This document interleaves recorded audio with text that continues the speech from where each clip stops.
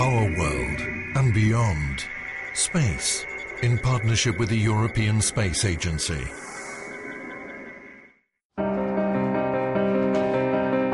We constantly track our weather as it becomes warmer or cooler, wetter or drier. But what about the long term, the weather over decades and centuries? At what point does weather become climate? We cannot say that a particular season or a particular month, if it was unusual, was definitely down to climate change. It's not possible because there is chaos in the atmosphere. We make sense of that chaos by looking for trends. And these days we have a perfect vantage point from space. The satellites, they play the key role on providing the global picture. So they provide satel- the satellite data on a very large scale.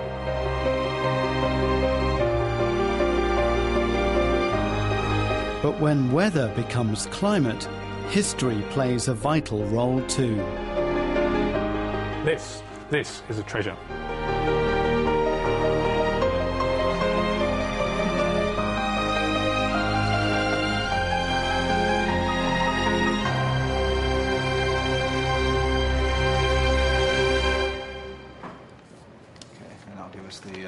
To find out when weather becomes climate, how one is reflected in another, we begin our journey at EUMETSAT in Germany.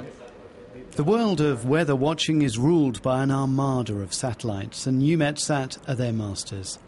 The organisation owns and runs Europe's fleet of high precision machines, and that means it manages two classes of satellite with very different orbits. The first orbit is the geostationary orbit, located at 36,000 kilometers, which is about this distance from the Earth. You look always on the same location of the Earth.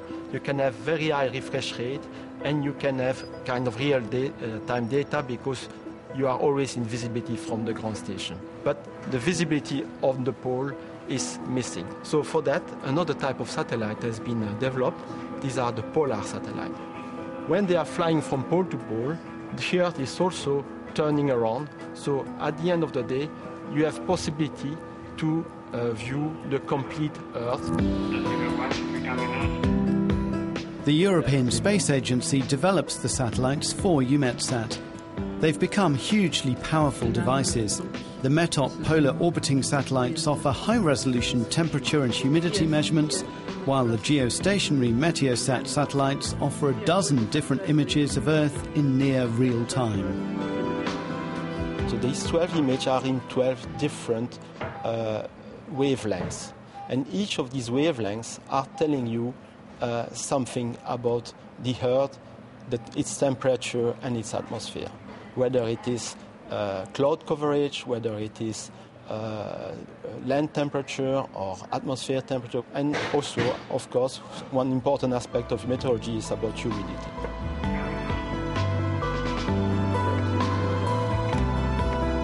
The satellite age means we now know more about our weather than ever before.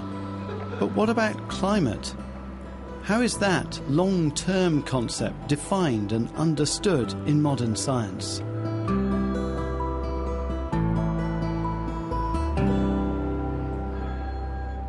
So when you average all your weather parameters, your geophysical quantities, temperature, humidity, over 30 years, that we call the reference climate. Satellites, uh, as they exist, do not cover a lot of the climate uh, period uh, over the last couple of hundred years. It's only, say, credible data exists for much of the atmosphere for temperature records as of 79, 1979.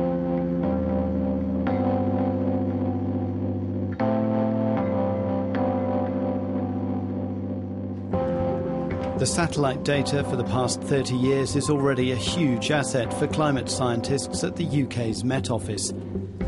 While the weather forecasters here take EUMETSAT satellite data and predict what the atmosphere will do in the next few hours, the climate scientists look back a few months or a few years and analyse what happened. Historical data have really two key uses, I would say. The first is that by looking back at historical climate data, we can understand the ups and downs and the variability, and we can use that to test our computer models to see whether or not they can reproduce the same ups and downs and whether or not they're coded up properly, whether they contain the right science and the right physics. The second use of the historical data are um, to test our forecasts. So we start from before the winter with only what we would have known and do an honest test of whether we could predict the coming winter. And we do that for every year, and then we look at whether the outcomes match what happened in the historical data. If you look in the right place, then you can find accurate weather data reaching far back in time. And that's useful for spotting even longer term trends and natural variability in the climate. One of those places is the British Library, the guardian of a rich history of weather watching data that's now being mined by climate scientist Philip Brohan. He spent many hours scrutinising old documents. So you can obviously see this.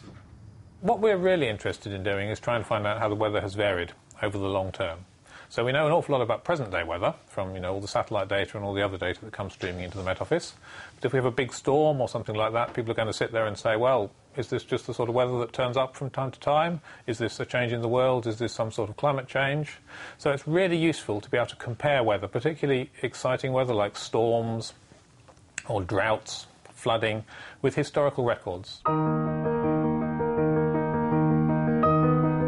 Some of those historical records began their lives at sea. These are logbooks from the British East India Company sailing ships which traded with India and China in the 18th and 19th centuries. This is the logbook for the ship the Sherborne, which was one of the East India Company's ships. And um, the logbook is for 1833 and it's about to head out from London towards Calcutta.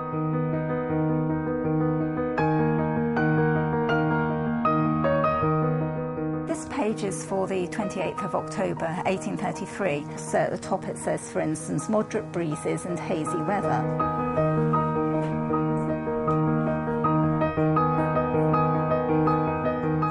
And then again, we've got fresh breezes and squally with a heavy southwest swell. Carried away the masthead. The British Library has around 9,000 East India Company logbooks dating from as far back as 1605. Other museums hold thousands more, including those from famous tea clipper, the Cutty Sark. For the East India Company, the data becomes genuinely useful for historical climatology from 1789, because that was when the officers started keeping objective and accurate weather records.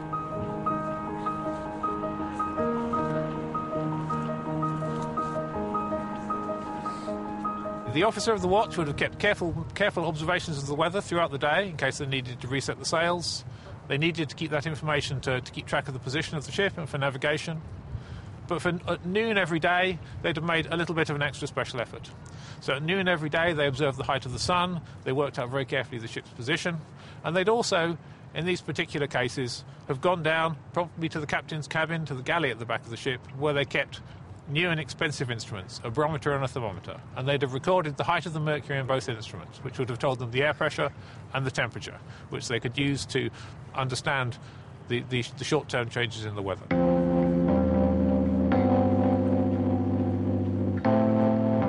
The historic records are a rich resource with direct data taken on the spot at a given time and place.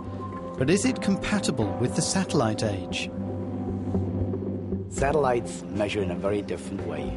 We measure at the top of the atmosphere radiation fields, and these radiation fields contain information about the geophysical quantity that we are actually interested in, like temperature profiles, humidity profiles, ozone content of the atmosphere, or another example, uh, wind speed at the ocean surface. So the measurement principle is quite different. Uh, satellites measure something, and the geophysical quantity that we are interested in gets inferred. The way they're measured is quite different, but what ties the historic data and the satellite data together is that the fundamental rules of physics that govern our climate system haven't changed. That means both sources of weather information can help scientists refine their climate models and they can both help us analyse the subtle question of when changeable weather becomes a changing climate. In order to characterize when changes are really happening, we have to bear in mind that we expect some variability. But of course, if there is, say, an upward trend or a downward trend in something, then it's looking at the statistics of when that trend sticks out from the noise and the variability that you've seen historically. When does it poke out from that and look unusual?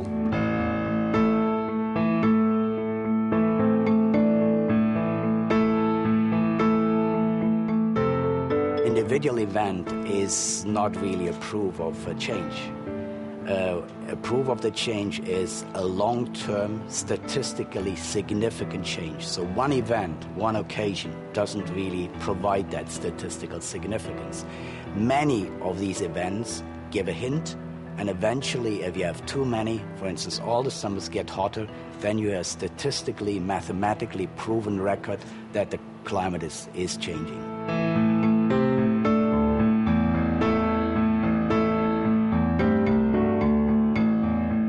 Fundamentally, we're, we're, we're, establishing the same information. We're trying to understand the state of the atmosphere. The information we get from the Cutty Sark is much more limited than the information we get today from our wide collection of satellite, surface, and, and other observations, but we can still use it in very much the same way. I doubt very much that they expected that in the 21st century people would still be interested in their results and still be using them, but that's exactly what happened. Those records are still very valuable today. Combining the simple records of old ships with the high precision, high density data flows from fleets of satellites allows us to trace the line between weather and climate, identify natural variability in our weather, and define how greenhouse gases are changing our atmosphere.